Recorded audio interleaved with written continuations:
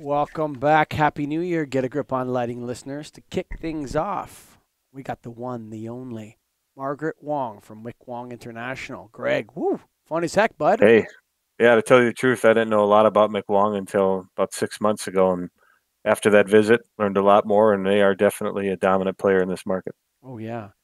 Um, I love the pictures of Arnold Schwarzenegger with Margaret in China. That, That, tells you something right there. Yeah, multiple man. pictures. Of Awesome. course, folks, this episode of the show is brought to you, um, uh, not of course, but this episode of the show is brought to you by Energy Focus. Go to energyfocus.com. That's E N E R G Y F O C U S.com, Greg? That's right, energyfocus.com. And Come on, man. today we're going to talk about they are the first company to come out with flicker free LED tubes. They've been riding that train for a long time, and rightfully so. It's something that we've talked to a lot of people on the negative effects of flicker free.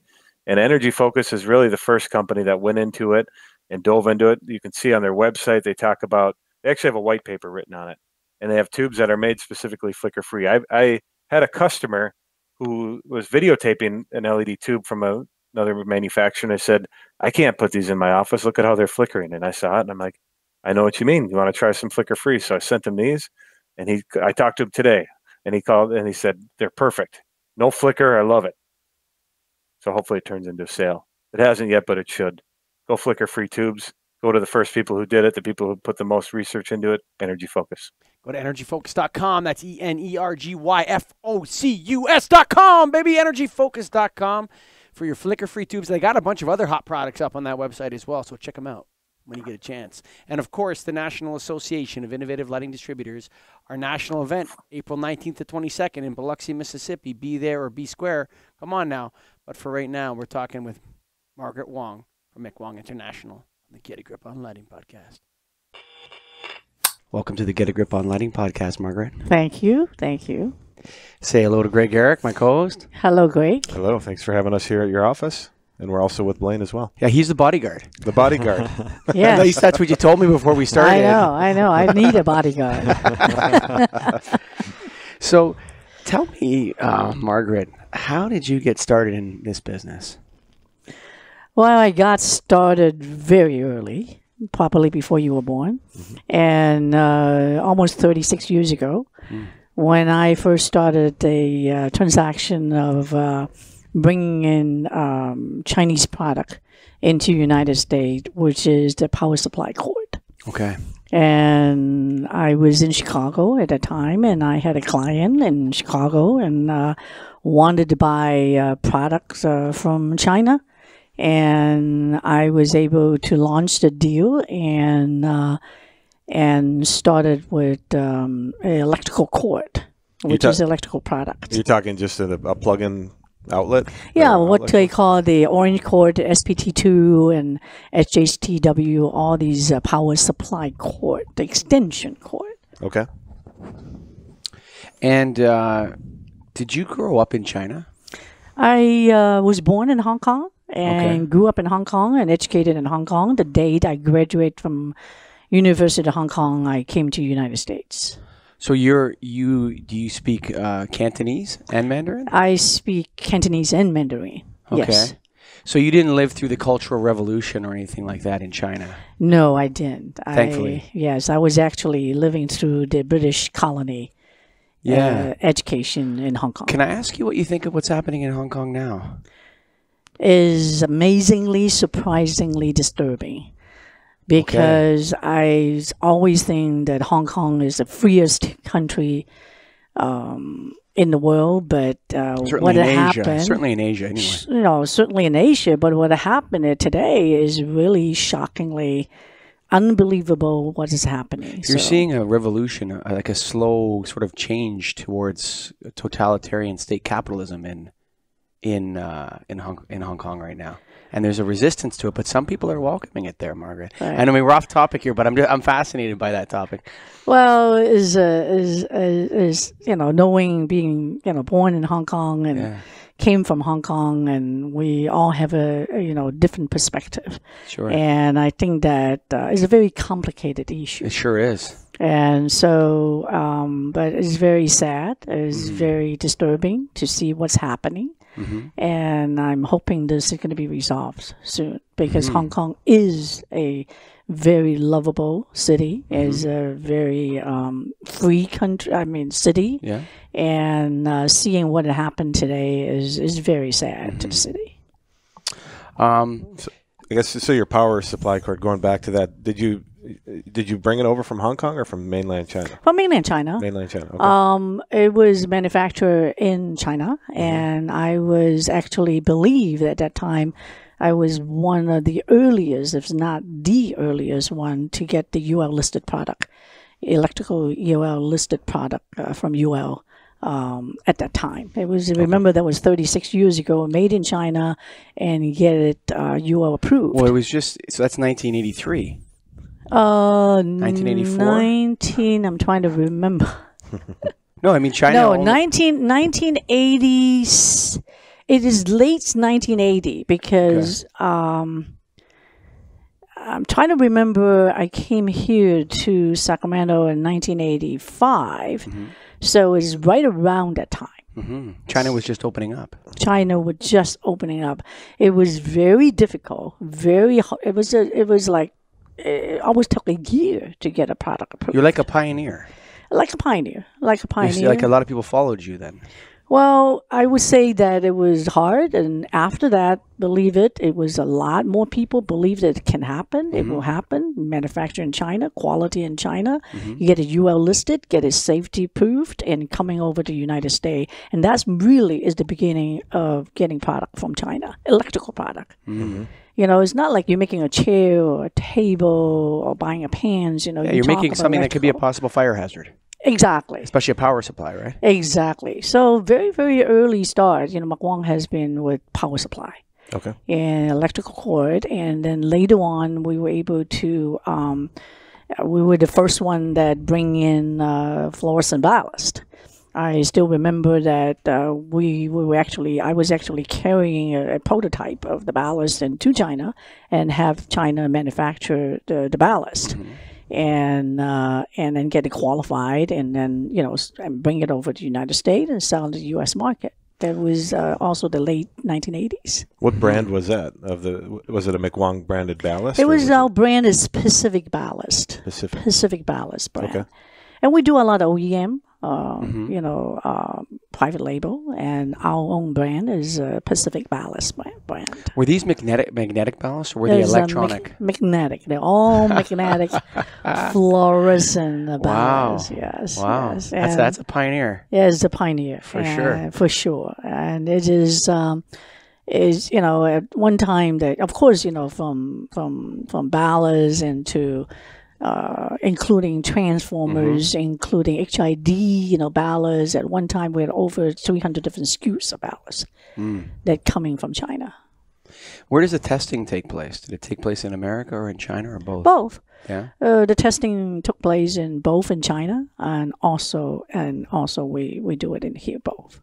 What were some of the challenges in the early days? Like even now, um, you know, uh, you know, Chinese factories will contact lighting distributors, like small. Like I'm a small lighting distributor uh, in Toronto, Canada. I'll get contacted by, um, you know, factories in China asking about, you know, if I want to buy lights direct from them or whatever, and and that's a possibility. People do it all the time. We, mm-hmm. we've interviewed six distributors on this trip, two of which import lots of stuff directly from China. Mm-hmm. Mm-hmm. Not so, I did it. I did. I, you know, I did it a couple times. I bought some stuff, uh, some tubes or whatever. But it's not really what I do best. But I found that there was huge communication barriers, things that you expect to be understood by another person entering into a business transaction, not being understood. You know, um, in 1986, 87, you're a woman of Asian descent speaking the language. What kind of challenges was there then, though, in terms of um, a nation, a communist nation, uh, just open? I mean, I'm assuming it was Shenzhen where, um, what's his name, Deng Xiaoping opened up the special economic zone or whatever. So you're dealing in that section of China. Um, what were some of the barriers in terms of cultural barriers that you were overcoming at the time? What was what was happening? Well, if you're talking about the late 1980s, there's tremendous amount of barriers. It's not a mag- mm, it's not a matter of language barriers, a barrier of understanding of the level of the qualities, Okay. the level of commitment that when they said they can deliver, they have to deliver on time. When they said they're going to be able to stand behind a product, you know, all these interpretation of what we can accept in the United States, not necessarily that's what they interpret. Mm. So you almost have to, you know, express yourself in very, very detail, making sure they understand. It's kind of like a missionary work. You know, you got to be able to tell them like a Bible. You know, you need to do the, all these line by line, and so that they will sign. They You're like a missionary of capitalism. Absolutely. Yes, that's So- it's interesting. You know, and I, I, I, I, a lot of time, you know, people think that is is just a language. You know, language is easy. You Sure. know, you can always have translation. Sure. But is the is the is the understanding and the acceptance of what we do in the United States and the infrastructure of what we do, you know, in other words, that you know, if you're going to be sell it to me, you can't sell it to my clients, Sure. or if you said that you're going to stand behind it and give me a warranty of 12 months, that's the warranty. What the warranty Yeah. means, and you know, it it, it very what difficult. what is a warranty? Right? What is a warranty? Like conceptually, what is a warranty? It means that you are going to pay if I buy this from you. You're going to pay for the mistakes. What does that mean to them? Oh, that will be it itself. Will be you can write a book about it. Sure. So, um, but but that was at that time. But over time, over the thirty somewhat years, China has learned a lot, improved a lot. So much competition going on. So the only way for them to sell the product is to provide the services as we need. Sure. So if you're talking about today, it's night and day. Yeah. And today, the improvement uh, is tremendous. Okay, in terms of understanding what we need, understanding and what what we want, and I I think that, uh, but still, you know, for a for anybody who who distributor OEM to go over there, they still need some help locally because it, at today is not that much of understanding of the culture or the needs. Is to be able to command um, the uh, the the delivery and also the uh, the the R and D, the quality, and a little bit different aspect of it. Um, and China still is very, very good in in discipline in doing mass production.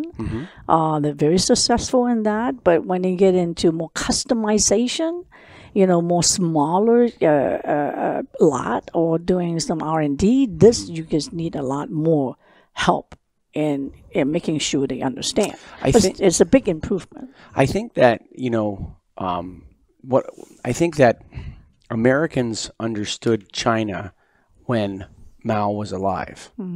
Okay, they understood that that's a really bad country. Um, there's a tyranny there. Um, it's communist. It's too big for us to do anything about. They're too powerful for us to do anything about. But we need them to stay there and and not spread their ide- ideology into Hong Kong, Taiwan, these other areas. That was kind of the position of the United States. Most Americans haven't left that position actually, and they a lot of things they don't understand. Like China is the oldest country in the world. China had the largest economy over the last for over the last 4,000 years. They've had the largest economy for 3,700 years of that mm-hmm. period. Mm-hmm. Right? It was mm-hmm. the most innovative country in the world for 3,700 years until, you know, European the rise of of European capitalism and and discovery of the world. And in a sense, it's not unnatural for China to return to that position. Like historically, it wouldn't be unnatural for China to be the most powerful country in the world. It wouldn't be unnatural for China to have the most dynamic economy in the world. You know, and that's what we're seeing emerging now. China's gone from being a copycat to needing missionary work from, you know, uh, from people like uh, like you, Margaret Wong, to now maybe the table's turning a little bit and them becoming a consumerist culture. Do you see that them being able to now manufacture? Make, I mean, you see companies over there very, very powerful. Um, you know, you hear about Huawei, but Xiaomi is another very powerful Chinese company. Uh, are they turning inward, and now are they, is their economy going to teach us what we uh, and now innovate, and we're going to learn from them? Is that switching now? Is that is that process become to ha- starting to happen, Margaret, where China may lead the world in that sense? Well, I yeah, you have you, you're absolutely right. I think that there are some fundamental elements of what uh, Chinese uh, is is are good at is number one, they're very hardworking. Okay, yeah. Uh, they're very hardworking, meaning that if you pay them well, if you if you pay them extra, they they they work beyond what we American can imagine. Sure. Okay, so um, Hard work is culturally honored. in China. culturally honored. Yeah. It, it, it's just unbelievable. Mm-hmm. I can give you an example that you know, say our factory opened at seven thirty, and but we pay the workers by basic salary plus by pieces. Mm-hmm. I mean, if they want to make more money, they would line up at seven o'clock. They want to come in to the mm-hmm. factory and be able to generate more pieces so that they get paid more.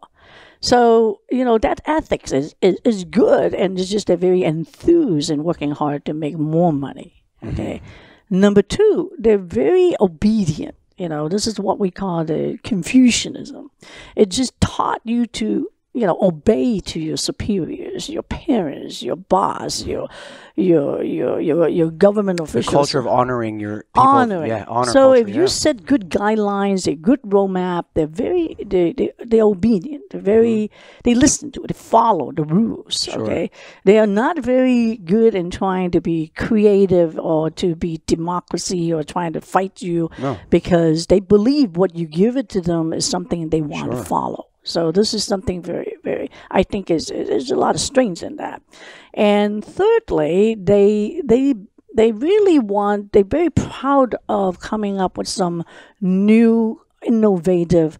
Um, technologically, especially in technologically new ideas, you know, so they spend a lot of time, a lot of thinking in coming up with new design, new engineering, and this is exactly why in the last decade or last 20 years is once if you open up that opportunity with the platform, with the incentive, it's amazing. After all, you know, we have 1.3 billion dollar Chinese. You know, it's a lot of people, a lot Yeah, of for sure. people with government incentives, with the company incentives. You know, it, it just tremendous amount of opportunities for them to to dig into the R and D. and it's just starting. It's just starting. It is just the beginning of it. So, and fourthly, uh, China market itself. You know, the demand nation, is the nation, the China itself. The demand for that kind of product is is huge. Also, Mm. you're looking at Huawei or Xiaomi. You know, they are because the domestic market is very strong. It's not just going outside for export. One of the things they talk about the the whole Huawei issue with the U.S. government is not has you know spying and all that aside. Possibly that's it. Maybe it's because the phones are better than Apple's. you understand what I mean? Like that might be the actual issue. Uh, you know, it's like they Xiaomi is is a, is a is a monster force, and a lot of these companies, these Chinese companies, they the integration of the hardware and the device that Apple does so well that other American firms always seem to separate. Like Google, there's Android, and then there's a device maker, and then there's a software maker. Xiaomi's a powerhouse when it comes to keeping uh, the device and like like Apple does. That and that's not unnatural for Chinese companies, and they have the power, the labor, the intelligence, the schools. It's going to change a lot of things. I think there's going to be a turn. I'm a Canadian, so I can look at it from the. I'm not in the fight. Well, maybe I'm on the, I'm on America's team. I don't know, but it's an interesting time to look at the changing nature of these these relationships. Um, you know, and you said that the, the Chinese people are very obedient. It's interesting. I I'm not so sure that's true. I mean, if you look at Chinese history for the last hundred years or so, it was a very crazy place to be. I mean, China's paid a huge price in terms of their stability, their current stability. And when you hear um, President Xi speak, he always speaks in terms of harmony. You know, harmonious rise, a peaceful rise. And sometimes you look at it, you think, is this is this actually, um, you know, nation state marketing, or is he serious? If you look at what happened with the Cultural Revolution in China and all that sort of stuff, and the Great Leap Forward, and how many people died, and and that they've paid a big price for that. Um, I'm going to ask you a question. You might want to take it out. Is it is it is it dangerous for the United States not to be the most powerful economic force in the world? Well, it depends on how you define powerful, you know. And I, I think that um, I, I, I, I think harmony is is important for for the for the global welfare, and I mm-hmm. think that I don't want to see that everybody want to be powerful. Is it military powerful? Is that going to be economically powerful? And after all, China is is emerging from a communist country into a capitalist country.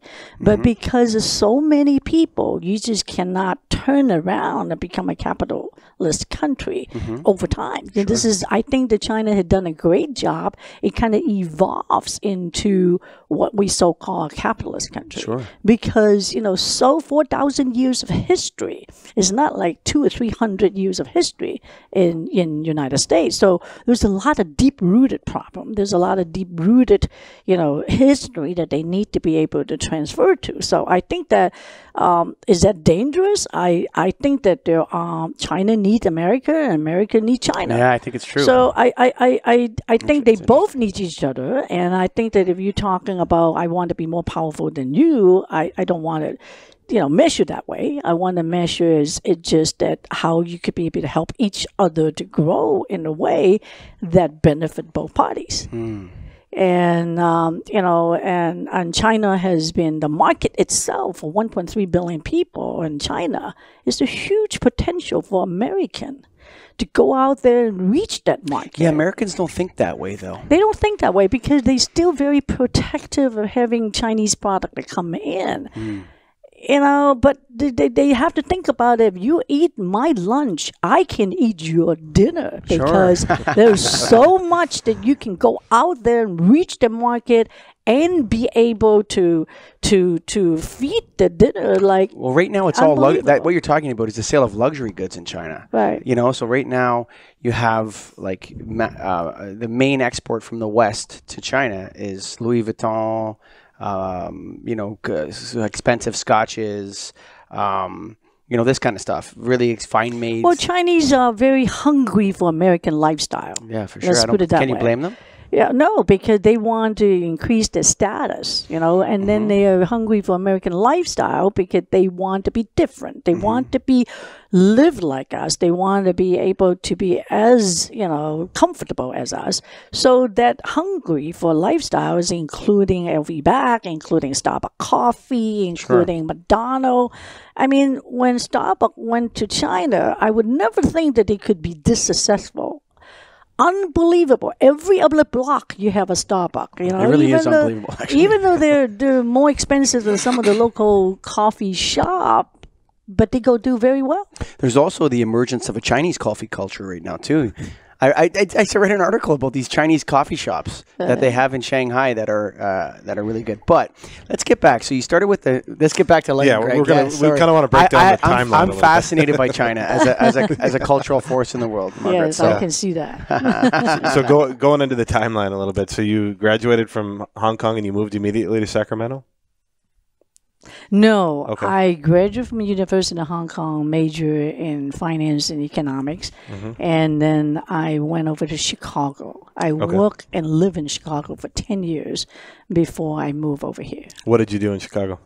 I work for a uh, management, one of the largest management consulting firm in uh, Chicago downtown, and they manage over a hundred different nonprofit organizations. And um, so I started as an accountant. Okay. And when I entered the company and uh, bookkeeper, accountant, and then um, and when I left, I was the controller and VP and and uh, of the company. So what made you leave? I get the coldness of Chicago. Is too much wind. I was uh, I, Too much wind. too much wind. Too too cold. Windy City. Good. I, I was born uh, from a tropical. Hong you know, Kong is warm like Florida. Yeah. Yeah. So I I just I have enough of of the corners, you know, like almost four or five months of the year is is is too cold for me. Okay. So I was looking for the sun. I was looking for opportunity to move to a warmer place. Okay. So And you moved to Sacramento. I moved to Sacramento. It Okay. it um, it was uh, it was chosen by a very um, uh, you know, it, it it's planned by God that I come to Sacramento. So Did you have a job lined up when you moved here, or you just came here? Then you were going to figure out what you were doing. Well, one of my colleagues, um, when I worked together with him for 10 years in Chicago, and uh, he's an electrical engineer, and he married, he had a girl, his girlfriend live in Sacramento, so he, he, he got married in Sacramento. And he knew that I wanted to come to California, so he helped me to find a job, and I, I came here and um, I worked for a bank and for about a year, and then after that, I get bored with corporate system, so I started my own company, and together with him, and um, and that was McWong. that was McWong, and um, his last name is McFarland, hmm. and I'm Wong, and I told him I want to start a company called Wong Mick.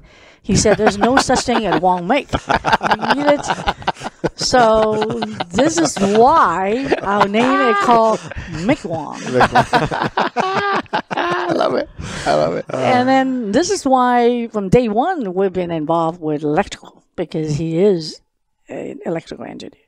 So that's why we work with electrical field. I'm not an electrical engineer, but I'm a business person. Sure. And um, we start with the power supply cord, and we get into the ballast business, and then getting in a lot of lighting components, and this is how we evolved. So you guys uh, are a lighting components firm, and so you started with ballast. Did you do you guys use sockets and switches and stuff like that, or all those sorts of little bits? Now we're into the Internet of Things. Right, right.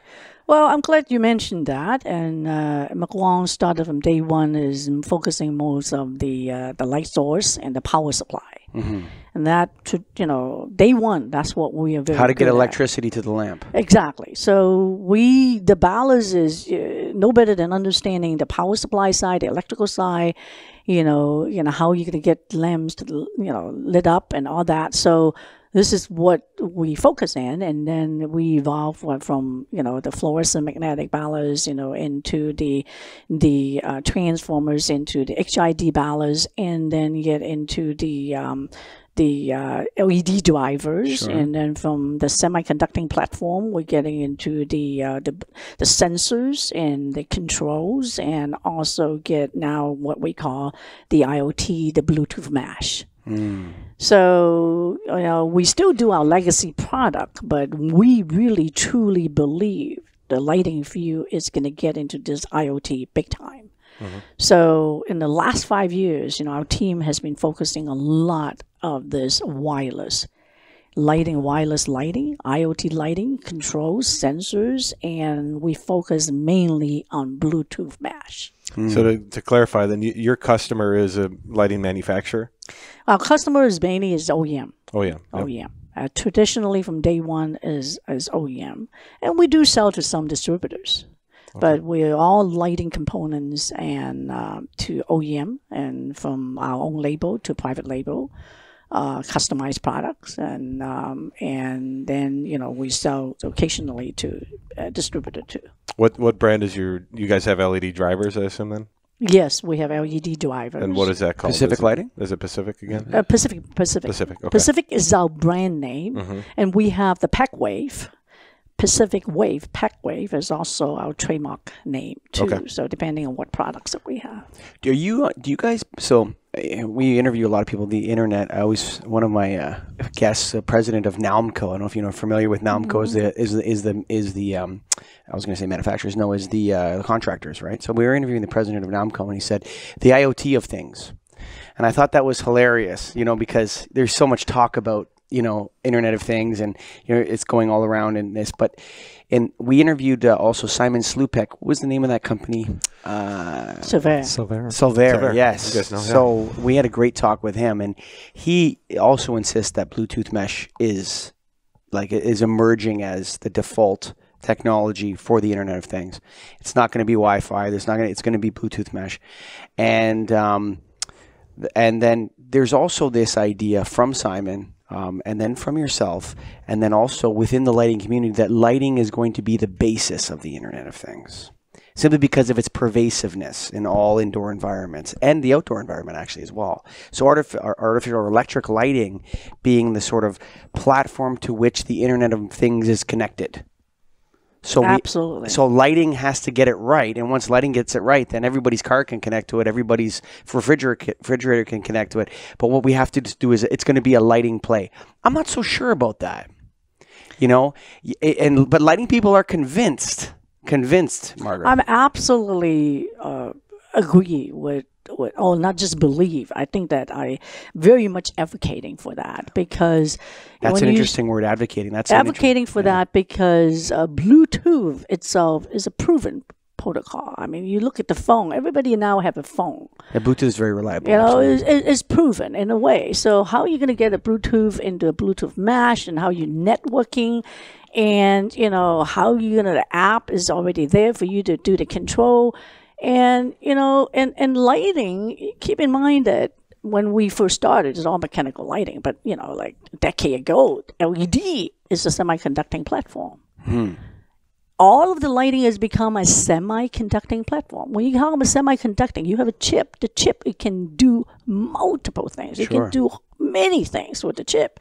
So once you get the chip, not only because of the protocol, but also that they can do wireless, they can talk to many different, you know, uh, points in, in that semiconducting. Because of that, you know, and using the protocol of Bluetooth, which is proven, is the way to go.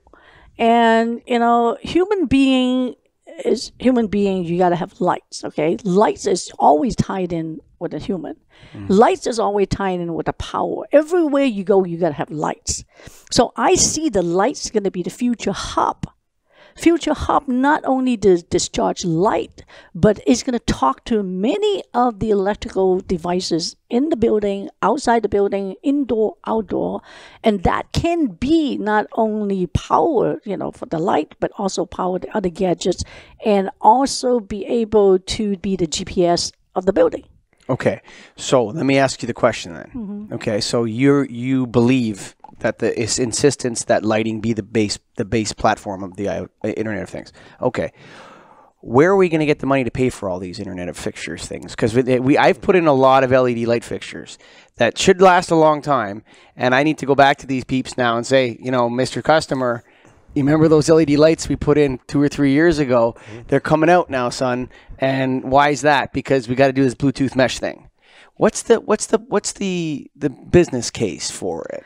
Well, you uh, you said it very very clearly that in the past everybody were talking about IoT lighting. You're talking about you know all of these devices and and all that, but it's not really commonly used. It's not that that you know a lot of people worry about the payback, or worry about installation, worry about the you know the warranty behind all that this is going to come. If you see in the last few years, you know, this is becoming so robust. It's because, you know, um, you you people are starting to think about wireless save a lot of cost of labor.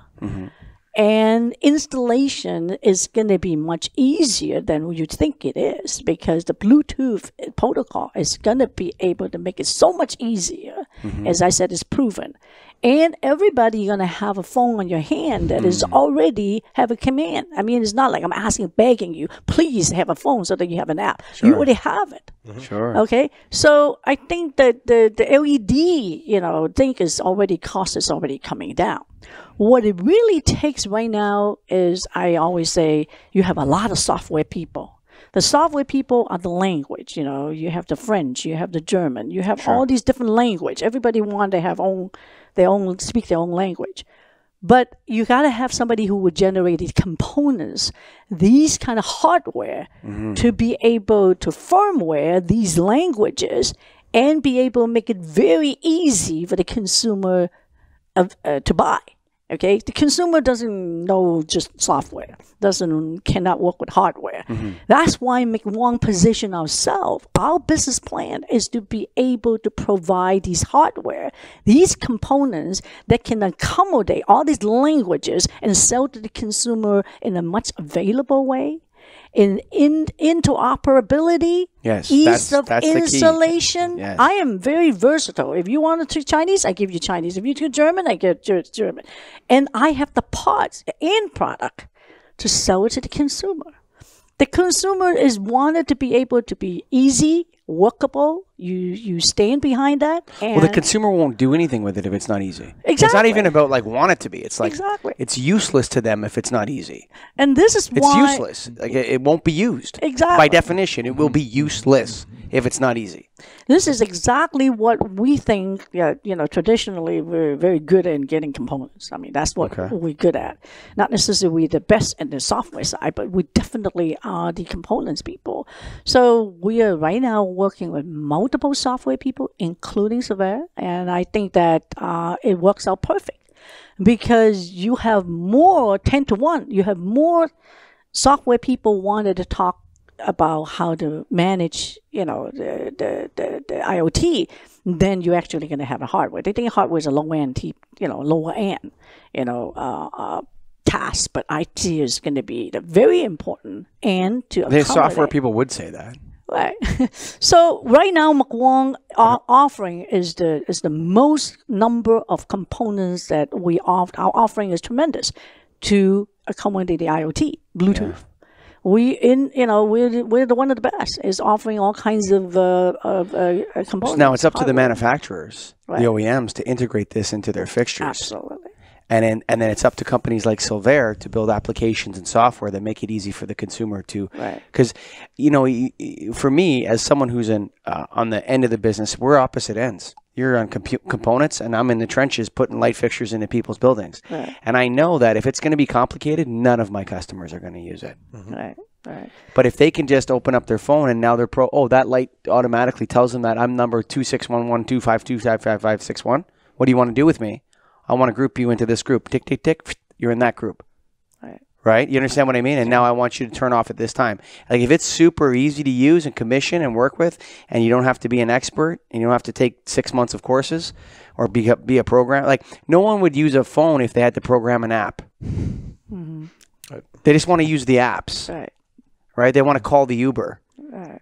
You know, it's like click it. Okay, there it is. And we were talking about Uber the other day about how, you know, you should just be able to take a picture of your credit card and it know that it's your credit card. It should just automatic. Like it shouldn't. Like it should be super easy to use. It will come. You know, today, you know, you're trying to do, you know, the the retrofit or do the, you know, after fixtures installation. You do the the installation and mm-hmm. commissioning after, but eventually, these components or these IoT stuff is going to be embedded in the fixtures. So you almost are not cannot afford not to offer that mm-hmm. once people are hooked with these IoT. So eventually it will come, you know, and I think if you make it easy to install, cost effective, good payback, and and be able to be available, mm-hmm. you know, availability, ease for people to buy, to procure, it will happen. Do you guys feel that whatever you're coming up with will be able to go into existing fixtures? Right. You're going to be able to go into something that Michael put in two years ago and now make it IoT capable or whatever we want to call it. Right, compatible. and- Compatible, yeah. So this is exactly what we're doing. You know, we're putting our all these uh, control wireless already into our ballast, into our drivers. So automatically, if you put in a driver, you don't have to put a sensor. You don't have to put a, you know, you you just kind of try to make it one-stop job, so that it's easy for OEM, easy for retrofit. So it's gonna come because when you get in the semiconducting business, that chip or whatever control system is there is going to be is totally feasible. And you know, imagine that when I keep saying that the lighting hub, that hub is not just to give you lights, but you know, you have all kinds of um, uh, including the, the data collection, including the what I was- accessibility, Yeah, collection. including the the securities, you know, counting people, how many people go to where, where you're going, what you turn on, what kind of data. Not to talk about sunlight harvesting, dimming, you know, that's standard. Those are standard behavior Circadian. lighting Yeah. Standard behavior lighting and also work interact beacon with other you know gadgets so that they give you tremendous amount of intelligence in the building that you wouldn't, you can't imagine because right now you have a GPS outside, but you don't have a GPS inside. Mm-hmm. Who go to what room? How many times you turn on that coffee machine? Who's coming in? Who's co- leaving? You don't have to have a batch. So here's a here's You a, just the light will tell you you coming in, you going out. How many times you go to that room? All gonna be monitored. Have you ever heard of this guy, Peter Drucker? He's dead now. Okay. So he has his famous three questions, right? Who is the customer? Right? What does the customer want to buy? Who is the non customer? Right? So if we ask ourselves the question with I, IoT and Bluetooth mesh, right? The Peter Drucker's famous questions asking GM in the 1950s, who is your customer? Right? What do you mean, who is my customer? No, no, ask. Like, if you don't know the answer to that question, you're probably going to make mistakes, right? So if you if you say that, that those are the fundamental questions of any business. Who is your customer? What do they want to buy? Right? Is it is the customer the person under the light or the person that's the phys- owner of the building or is the customer the person that wants the data? Right? So for me it's almost like I think the IoT will be a cascading uh, um, tidal wave of change when the when or if the data becomes worthwhile to somebody to have. You see the data wars that happened five or six years ago between uh, there first was the patent wars, then it was the data wars between these the companies that love Silicon Valley. They're all out here anyway, right? And then in China too. Um, but when that data becomes valuable, or because there's a currency to it, who cares how much the light fixture costs? Right? Because what I want is the data. As soon as the customer becomes the person that can do something with the data, then you will see a complete tidal wave of IoT. I agree, absolutely. We always want to talk about energy efficiency. You know, all these LED, Mm-hmm. everything. Energy efficiency is a slam dunk. I mean, you you want to Sure. use wireless LED to be energy efficiency. You always want to save labor cost. Sure. You know, because uh, you know the wireless is you know, is no wire. Okay, so you know the labor cost of maintenance and also and also the labor cost of recording information, the mm-hmm. labor cost of of trying to be able to find out what's happening, you know that kind of thing. That's also is a benefit of this IoT lighting. Mm-hmm. And then later on, when you call about the data, the data is collection is so important to determine so many things mm-hmm. that this hub is going to also do that thing. And then we talk about security. We talk about safety. You know, you can go on and on with mm-hmm. a lot of features that you can kind of put in a different bucket. of course. Once if you put all these bucket in, you look at it, who can command all of this? Is wherever you have people, you have lights. And the lights is going to be able to do all of these things. And that's a very basic form factor, I call it. You know, it's going to be, you, you it's, it's, it's, it's going to get there. Now, getting there, you got to be able to have the uh, you know, the right language or the hardware, software available and reliable. People who stand behind and warrant that, and easy to install and interact. Self commissioning. Self commissioning. yeah. And I was saying that if it's talking about five years ago, you're not going to happen. But now it's coming in very, very fast. Well, you said get there, you know what there is called? It's called the Matrix. yes. No, seriously. Yes. Like that's what it is. It's going to be like a matrix like environment. So you're going to be in the internet. With Wi-Fi and with um, with the, all these fixtures connected. So the idea of the think about the idea of getting a ride from somebody else and not having to have any physical transaction with them. So first of all, the the magical GPS of the satellites tells this guy over on the other side of Sacramento to come to McWong and pick up this guy, and there's a picture of him there, and take him somewhere else.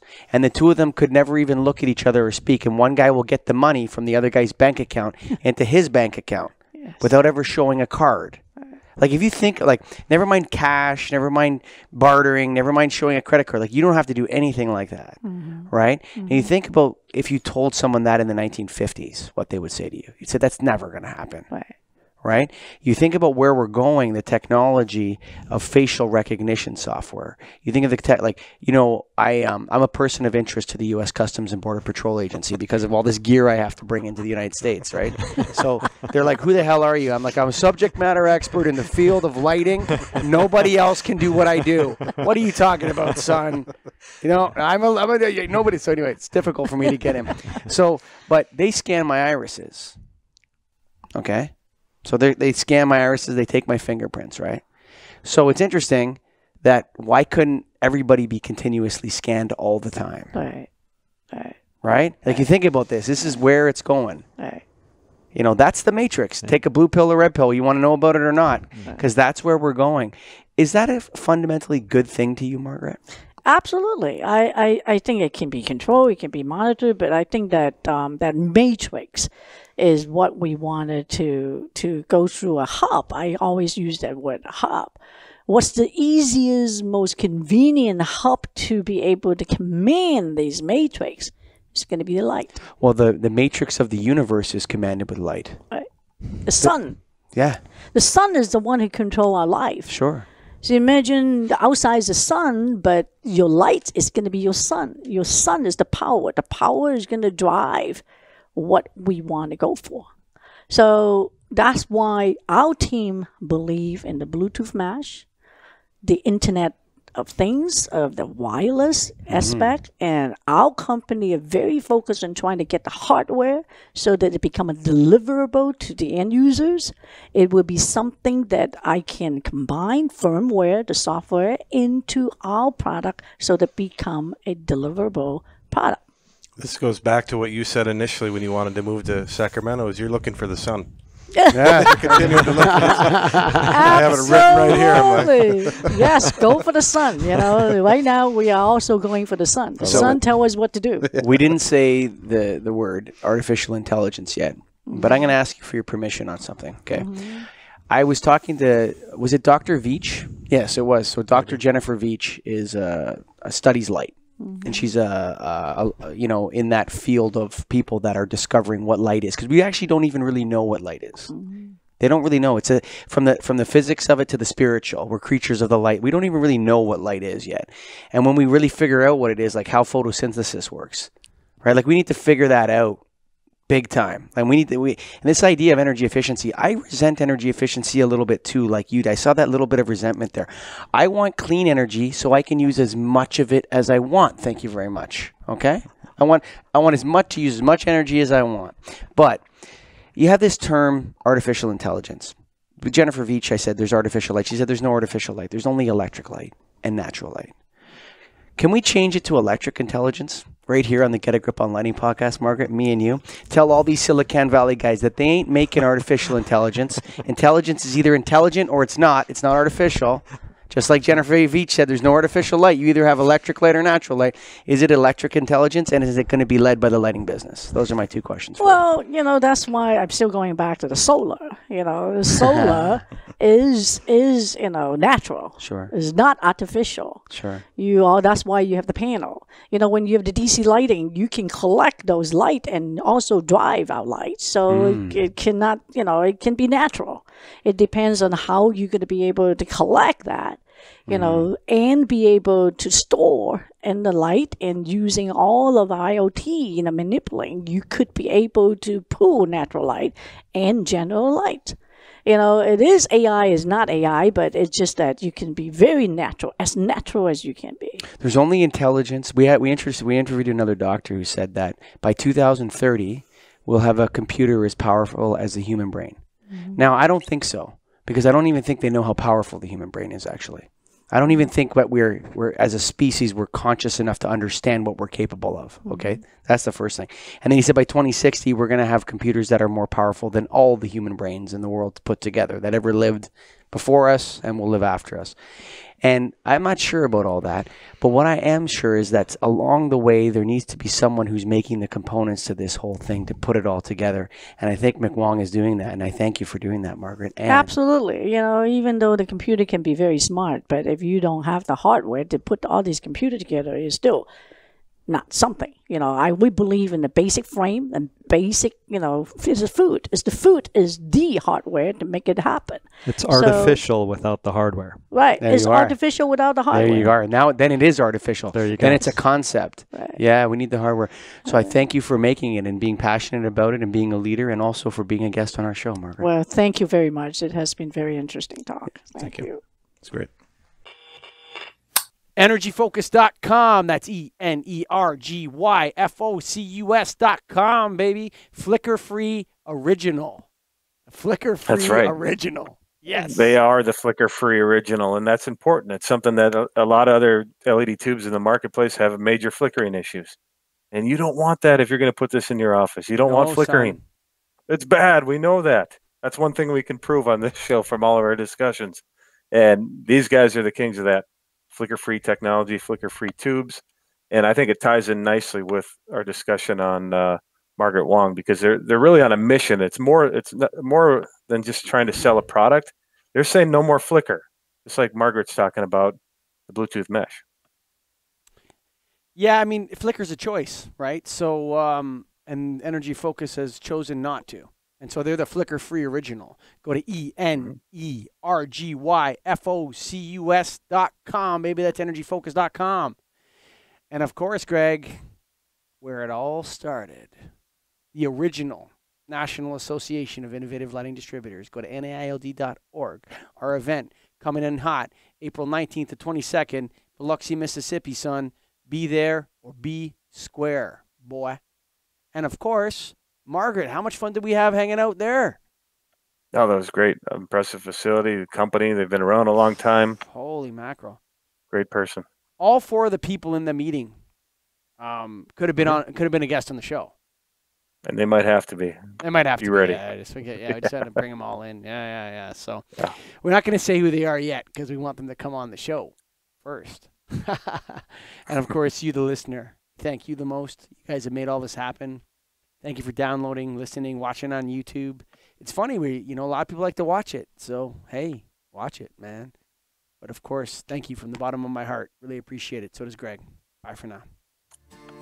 Written on the rectory wall, there's a sign there for all. You are lost, Lord is there to find you.